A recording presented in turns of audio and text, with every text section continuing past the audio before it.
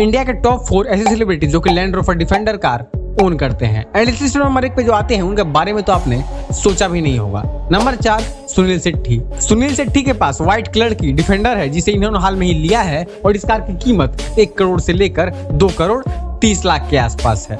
Number तीन सनी देओल सनी देओल की सबसे नई कार डिफेंडर जिसे इन्होंने हाल में ही लिया है, और इनके पास भी व्हाइट कलर की डिफेंडर कार है।